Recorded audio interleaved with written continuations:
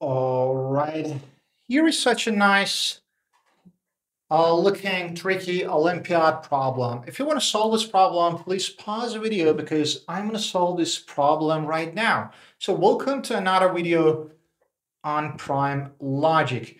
So the problem setup is pretty much simple. So we have a right angle triangle here with the sides such that, so one side is n the other side is n squared, and the hypotenuse is n cubed. So what is the value of n?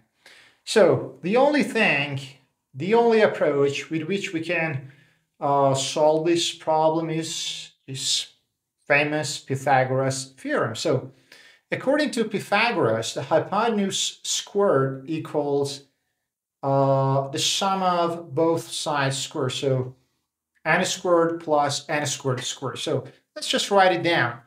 n cubed squared it is, so n to the 6, right? Because when it becomes squared, we can just merge and smash the exponents and multiply them together. So n to the 6, which is the hypotenuse squared, equals n squared squared, which is n to the 4, according to these uh, exponents rule plus n squared. So let's just write it down here for those of you who kind of got confused where this 6 came from. So n cubed is the value of this hypotenuse. So when we raise it to the power of 2, according to the laws of the exponents, we can just multiply them together. So we can uh, write it as, so n to the 3 times 2 or n to the 2 to the power of 3 or in other words n to the 6. So this is this famous exponents rule. So now that we found, so this is the equation. Now let's just try to solve it for n. So let's divide each term by uh, n squared. So n to the 6 divided by n squared equals, okay, so we don't need this equal sign here. So n to the 4 divided by n squared, and then n squared divided by n squared. So now, based on another properties of exponents, the bases are the same. We can subtract the exponents. So 6 minus 2, it is 4. And then 4 minus 2 is 2. So n squared, and these two terms are the same, so it is just 1. So now it is, it got a little bit more simple. Now I think we can calculate for n.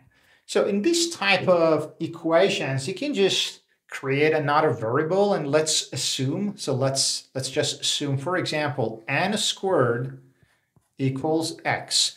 So this is our assumption then we can say that, okay, so n to the 4, it is n squared to the 2, or x squared as the first term.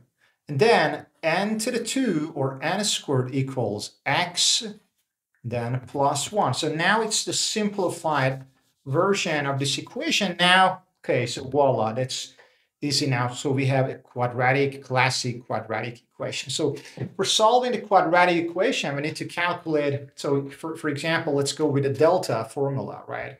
So x equals, but we need to put it all in the one side. So x squared minus x minus 1 equals 0.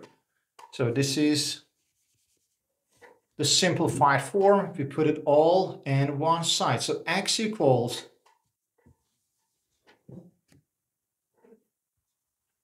minus b. So this term is b. Minus b is positive 1. Plus minus square root of delta, which is the discriminant. So discriminant is b squared minus 4ac. So b squared, this term is b. So minus 1 squared is just 1.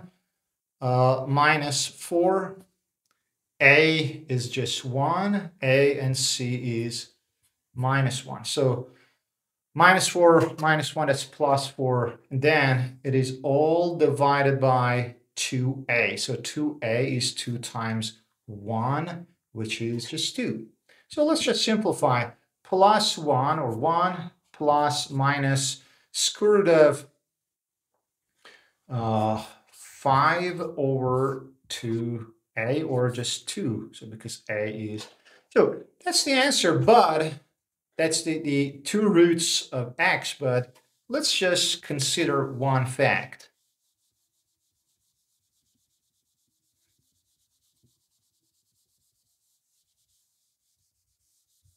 So we are in a in geometry realm, right? So square root of 5 is more than 2, right? It is more than 2, 2 something.